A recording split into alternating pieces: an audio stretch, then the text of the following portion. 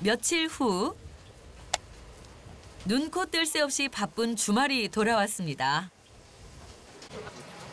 여보 건우한테 전화 왔었어? 아니. 아니 이렇게 하면. 천천히 기다려봐. 아이 야야 엄마 몸은 그냥 하나인데. 아열 열이 갔다 저리 갔다 바빠 죽겠구만. 그 말이 떨어지기가 무섭게 아들 등장. 야 좀 일찍 좀 알아 좀. 아 참. 아이고 주말이야 애들하고 놀다 보면 들릴 수도 있지 뭐 그걸 화를 내고 그래 아이고 혼자 그냥 우거지고 밥거릴라 이거 할라 그냥 정신 없으니까 그래지. 어휴 손이 많네 이제 손 없는 줄 알았어? 아니 12시 되면 바쁠 줄 알았지 나는 일찍 일찍 와 다음부터는. 알았어 알았어 알겠지? 오늘 또 파이팅 하자고 자 화이팅. 자 하이파이브 한번 하고. 아들을 봐야 기운이 솟는 어머니입니다. 나 오늘 일찍 가야 돼나 왜? 오늘 배탈 간 날이잖아 큰일 나가지고 왜 하필이면 주말에 가는겨. 요즘 건우 씨는 베트남에서 새로운 일을 준비하고 있습니다. 제발 좀 벌리지 좀 말아라. 에이, 너무 벌려. 그냥 냅둬. 뭐가 하나 대박 나도 대박 날 테니까. 아이, 그래 사전 하나만 대박 나면 되지 않아? 내가 코로나만 아니었으면 내가, 내가 여기서 안 붙였어 엄마가 나 도와줬어야 돼 여기 장사가 너무 안 돼서 베트남에다 전집 차리려고 그랬는데 코로나 때문에 역전됐어, 역전. 지금이야 어머니 가게가 더 잘 되지만 한때는 베트남에서 요식업으로 승승장구했던 건우 씨. 그러나 팬데믹으로 대부분의 가게가 문을 닫고 딱 한 곳만 남았죠. 그렇다 보니 더 열심히 뛸 수밖에 없습니다. 엄마 가야 돼 시간 됐어 아, 밀, 밀린 거 빼주고 가야 돼. 안 돼, 못 가, 못 가. 밀린 거 빼주고 가야지. 뭐. 가서 짐도 싸야 되고 갈 준비를 해야지 비행기를 타지 몇 개만 붙이고 가라 그래. 내가 알거든. 몇 시까지 가야 되는 거. 네, 조금 더 붙여도 돼.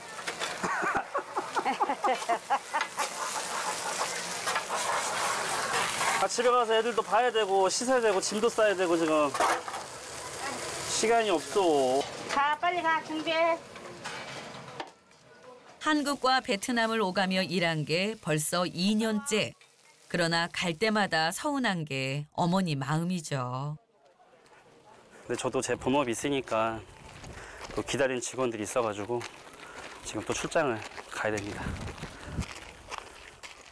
코로나 사태가 끝나고 다시 일어서기 위해 애쓰는 건우 씨. 그런 아들을 볼 때마다 늘 마음 한켠이 아립니다. 왜 이렇게 눈물이 나는 게? 아유, 집에 자주 왔다 갔다 하는 건데도? 아이고. 내가 힘드니까 기는 게요. 누구보다 그 힘든 시간을 잘 알기 때문이겠죠. 아, 여기서 만약에 내가 힘들어도 아들한테 전화하면 바로 올 수 있고 또 아들이 좀 힘들다 그러면 내가 바로 갈 수 있지만 타국에 있으면 못 가잖아. 갈- 가고 싶어도 못 가고. 내가 그 마음을 아니까. 저도 애국 생활을 많이 해가지고 그래서 그 마음을 아니까 더 마음이 짠하죠. 생때 같은 자식들을 두고 한 푼이라도 더 벌기 위해 홀로 베트남행을 택했습니다. 자식들이 눈에 밟혀 눈물로 지새웠던 세월. 그땐 이렇게 가족과 함께 사는 게 꿈이었죠. 4시간의 비행 끝에 베트남 다낭에 도착한 아들. 더운데요? 더워요. 엄청 더워요 지금. 해야지 사람 많이 놀러 오지. 왜 그래? 코로나 바이러스의 확산세가 줄어들며 다행히 베트남을 찾는 여행객들이 늘고 있습니다. 어, 한국 사람 되게 많이 와요. 그 코로나 전에는 진짜 비행기 많을 때는 경기도 다낭시라고 얘기할 정도로 사람이 엄청 많이 왔었어요. 건우 씨가 이곳 다낭에 한식당을 차린 것도 바로 그 이유 때문이죠. 이번에는 10일 좀더 걸린 것 같은데요. 어 머니 가게 봐주기라. 이번에는 그래도 한 18일 정도 있다 온 것 같아요. 여긴 뭐예요? 똥. 저희 식당. 제가 운영하는 식당. 코로나 때 버틴 식당. 저는 올 때마다 제 개인 짐은 하나도 없어요. 뭐예요? 다 베트남에 없는 제품들, 구할 수 없는 거 한국에서 필요한 거는 왔다 갔다 하면서 구하고 있어요. 그래야 최대한 한국 맛을 내니까 일단 용기요. 여기 있는 건 다 국물이 새가지고 홀도 새벽까지 하고 아침 일찍 열어서 3교대로 장사하고 있거든요. 배달이 좀 많이 있어가지고 용기가 한국 거만한 게 없더라고요. 베트남에서 한국 음식을 팔다 보니 작은 거 하나도 신경 쓸 게 많습니다. 간다. 내봐. 식당에서 10분 거리에 있는 숙소. 3년 전만 해도 이곳에서 가족들과 함께 살았죠. 여기서 옛날에 코로나 때 유튜브 찍었거든요. 그 아이들 흔적도 많아요. 유모차든지 애기들 신발. 이- 지금 이건 씻지도 못하죠. 애들이 너무 많이 커버려가지고 짐도 정리 못하고 진짜 막 도망가듯이 쫓겨났어요. 진짜 캐리어만 하나 들고 아무것도 정리 못하고 그냥 떠나는 바람에 코로나 바이러스로 베트남 전역에 봉쇄령 수준의 방역 조치가 내려지고 부랴부랴 한국행 비행기에 오른 건우 씨 가족. 그날 이후 참 많은 것이 바뀌었습니다. 다음 날 다낭의 아침이 밝았습니다. 베트남에서 네 번째로 큰 도시이자 관광지로 알려진 다낭.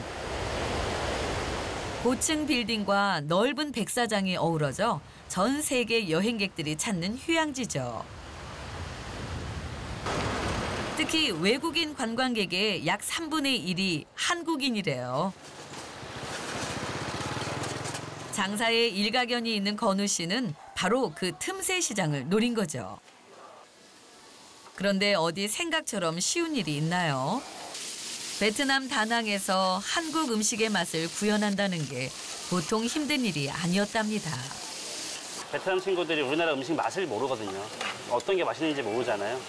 근데 이제 그거 가르치는데 몇 년 걸렸어요. 지금은 더 잘해요. 이제는 직원들이 한식 전문가가 다 됐대요. 아니 그런데 어떻게 이런 생각을 한 거예요? 이제 부부 동반으로 이제 다낭 여행을 가자고 해서 왔다가 이 시장이 너무 조금 어, 괜찮은 것 같은 느낌이 딱 뭔가 뇌를 탁 치더라고요. 그래서 여행하다 말고 이제 부동산 가서 여- 이것저것 알아봤거든요. 그래서 여행해서 여행 와서 그 와이프랑 싸웠던 기억이 있어요. 왜요? 놀러까지 와서 일하 놀러까지 와서 일하냐고 그래가지고 일할 때만큼은 언제나 철두철미한 건우 씨. 여기도 상안 깨끗하잖아. 다시 닦아 빨리. 맛도 중요하지만 가장 신경을 쓰는 건 위생입니다. 전 세계 사람들이 오는 곳이다 보니 작은 실수 하나가 한국 음식에 대한 이미지를 떨어뜨릴 수도 있기 때문이죠. 그리고 20년 장사 경력 노하우. 언어가 서툴러도 손님들과의 소통은 필수라네요. 뭐 시켰어요? 밀면. 밀면? 그 덕분에 단골 손님들이 많아졌답니다.